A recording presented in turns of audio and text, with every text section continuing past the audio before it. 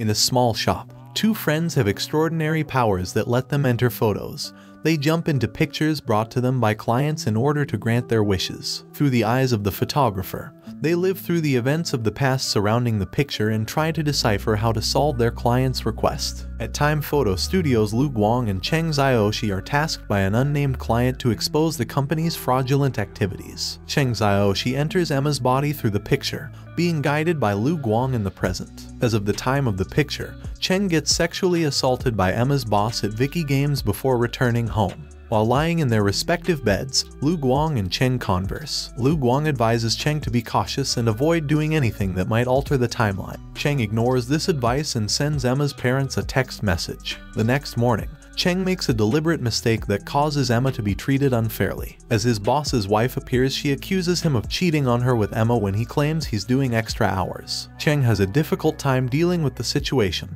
as Emma's boss plots against him saying that Emma badgers him. Against his own will, Cheng allows himself to be slapped as Emma, allowing him to get the information he seeks. In the present, a tearful Emma enters her home and discovers the message Cheng sent to her parents. Following that, a scene depicts Emma and her parents preparing to take a train ride to see each other. A man offers Emma a ride to the station while Cheng mulls over the consequences of his actions. Lu Guang looks at the news on his phone while Cheng is distracted by Kaio oh and discovers that Emma has died. As the next client appears, Yu Xia, the owner of a restaurant chain, tracks down the timing duo in the hopes of obtaining the secret soup recipe kept hidden by her business partner Lin Zhen. They have been business partners for 10 years but Lin Zhen has always hidden the recipe and decided to start a new branch alone. The duo fails several attempts to figure out the secret recipe. Cheng realizes that the reason for Yu and Lin's breakup is a difference in philosophy about how to run the noodle shop. Yu desired to expand, whereas Lin desired to be a small noodle shop.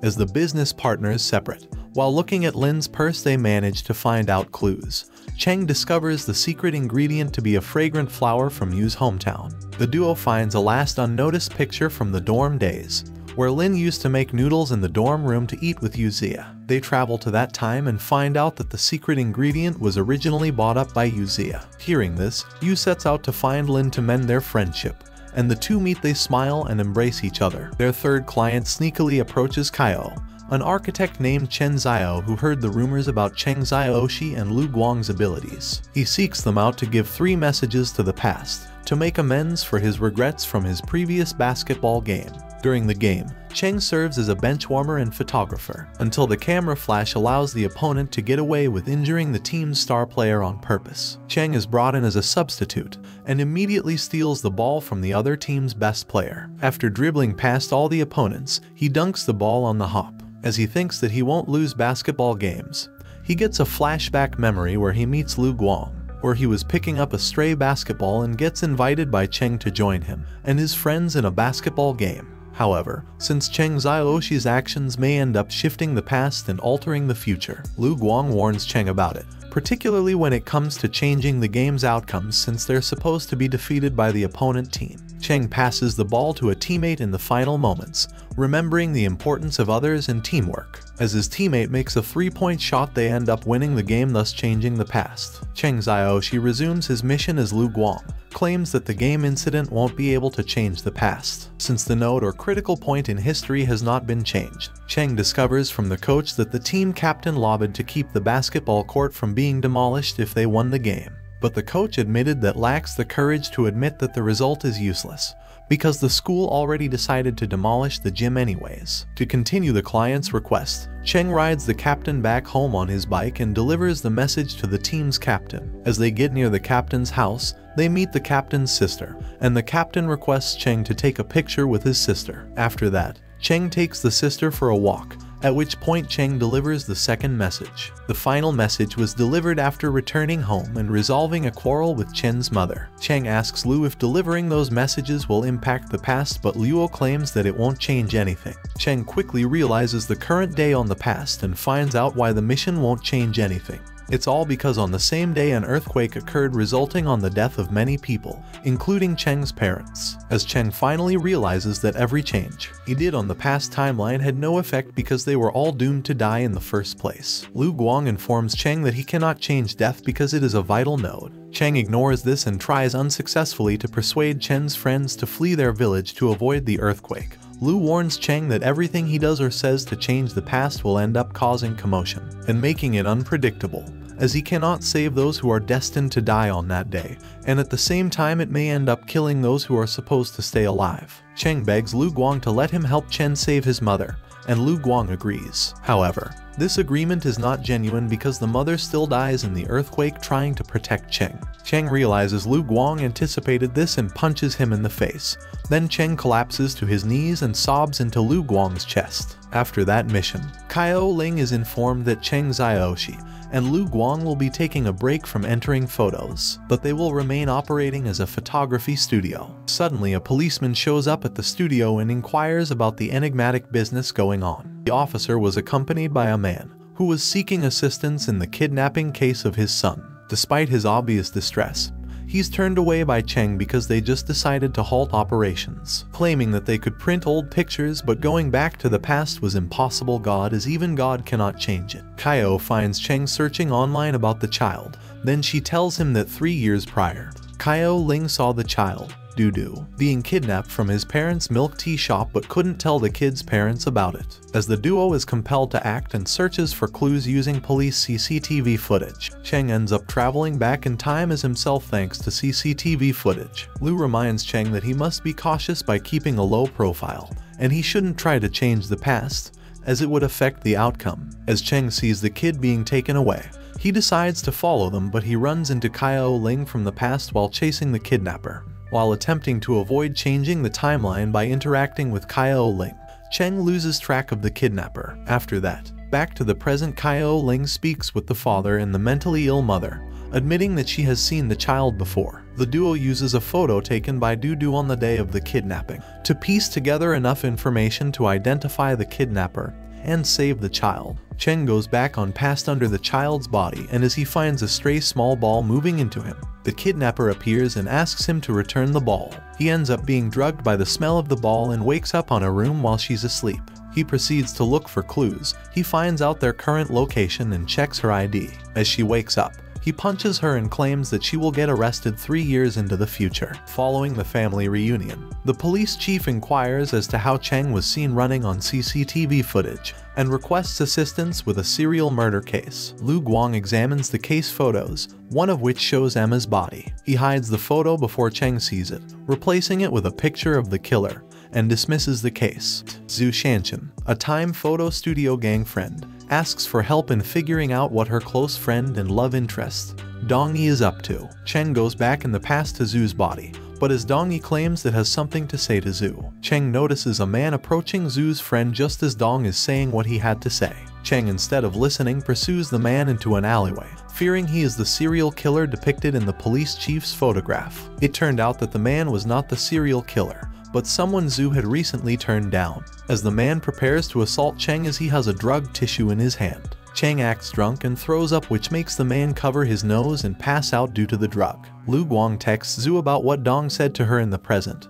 and the group receives an unusual text message in response. Concerned by the reply, they dial Zhu's number and are surprised to hear a strange man's voice on the other end deliver a cryptic message. Lu Guang goes to the police station, fearful that the strange man on the phone call is the killer. After visiting the police station, Lu is able to identify the killer's license plate by entering the killer's CCTV photo. He also notices Cheng in the photograph and realizes Cheng is the only one in the photograph. When the police chief goes to see Liu Min, their main suspect, an owner of the vehicle, he discovers that he is paralyzed as a result of a recent car accident. Because Liu Min was in the hospital, he has an alibi for the crime. In the photo, Cheng is seen getting into the trunk of Liu Min's car as Liu and Emma enter it. Liu drives to a remote location and begins strangling Emma while shouting her name. When Cheng hears this name, he realizes that his actions as Emma altered her fate and led her to this point in time, where she is about to be murdered. Cheng screams in agony, and just as Liu Min is about to open the trunk,